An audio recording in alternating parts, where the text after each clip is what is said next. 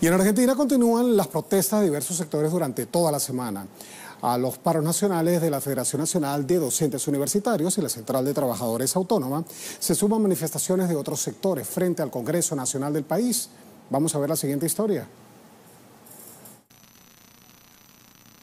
Los despedidos del Instituto Nacional de Tecnología Industrial, de los yacimientos carboníferos Río Turbio, del Hospital Posadas y de la fábrica Fanazul instalaron una carpa frente al Parlamento argentino. No se trata solamente de eh, la cantidad de trabajadores que nos quedamos sin nuestro laburo, que ya es terrible y es dramático, sino de lo que está pasando con los organismos. El Estado se está retirando de todo lo importante. El Estado se retira de los controles, se retira de la producción de conocimiento, se retira de la ciencia y la tecnología, se retira de la educación, de la salud, entonces de la energía. Es importante ponerle un freno a esto porque no vamos a poder recuperarnos de ese vaciamiento convocada por la Central de Trabajadores Autónoma y la Asociación de Trabajadores del Estado, la jornada de lucha que prevé un paro con movilización se llevará a cabo durante toda la semana.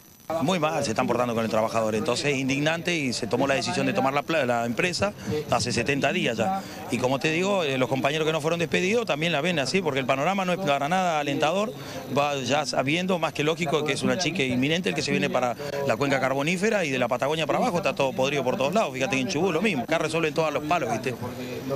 El gobierno, el gobierno este resuelve todos los palos, porque si no, ¿por qué no mandó 250 efectivos ahí a, a la una de la mañana? Todos paramos con todo el pueblo y no lo dejamos entrar. Personalidades de distintos ámbitos acercaron su apoyo y solidaridad a la protesta que pretende visibilizar las problemáticas que padece cada sector producto de las políticas neoliberales macristas. Este ajuste significa pérdida de poder adquisitivo del salario, pérdida de los puestos de trabajo. Estuve reunido con los compañeros mineros, también con la intersindical, este, intercambiando ideas, a ver cómo, cómo enfrentar todos juntos este problema. Trayendo el abrazo solidario de todas las madres de Plaza de Mayo, línea fundadora, a nuestros queridos compañeros trabajadores, donde nuevamente desde este gobierno, Macri y compañía, siguen violando los derechos humanos como es el derecho al trabajo. A la convocatoria contra el ajuste, los despidos, los tarifazos y la criminalización de la protesta social frente al Congreso Nacional,